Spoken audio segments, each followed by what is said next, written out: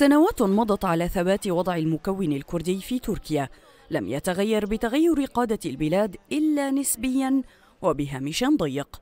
معارضة وحكومة يتبارزون في النواحي الاقتصادية والدستورية إلا أنهم تاريخيا اتفقوا على منهج واحد تجاه الأكراد.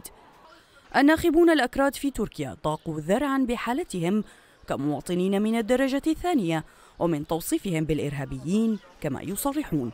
وبحلول الانتخابات التركية لهذا العام تتساءل عدة أطراف عن إمكانية تغيير في الشكل المعتاد وعن أي تحول سترسمه نتيجة الانتخابات في مستقبل المكون الكردي. في حال فوز أردوغان أنا باعتقادي أن مرحلة جديدة من التصعيد ضد الكرد سواء في تركيا أو في الخارج ستبدأ خاصة أن أجندة أردوغان آه، معروفة وواضحة وهذه الأجندة تقوم على محاربة التطلعات القومية للكرد. وبالرغم من أن بقاء أردوغان في السلطة يتربص بهم ليتجه أكبر الأحزاب السياسية الكردية وهو حزب الشعوب الديمقراطي إلى عباءة المعارضة التركية إلا أن الإجابات التاريخية لا تبدي أي اختلاف جذري وواضح السياسة تجاه الأكراد من قبل أي شكل حكم في تركيا إلا أن منع الحكومة الحالية للأحزاب الكردية من طرح مرشحيها مال بها إلى خندق المعارضة بقيادة مرشحها كمال كليشدار أغلو. تصريحات الرئيس أردوغان وكذلك منافسه كمال كليشدار أغلو تجاه الأكراد هي تصريحات أنا باعتقادي انتخابية بالدرجة الأولى والهدف منها هو الحصول على أكبر نسبة من أصوات الأكراد. نظرا لأن هذه الأصوات ربما آه، تكون حاسمة في تحديد هوية من سيفوز في هذه الانتخابات. مصلحة متبادلة بين الطرفين.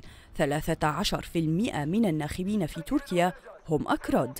تحتاجهم الطاولة السداسية المتسمة بطابع قومي تركي. لدعم موقفها. بينما تحصيل الحقوق الثقافية والسياسية للأكراد هو شرط دعم حزب الشعوب لأي مرشح يقف في وجه أردوغان.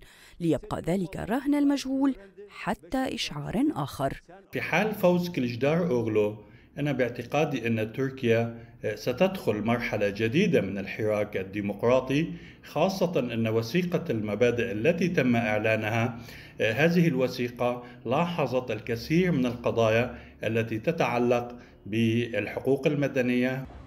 الانتخابات في تركيا متغيرة تاريخيا لكن الثابت اتفاق جميع من حكم تركيا على موقف واحد تجاه قضية الأكراد.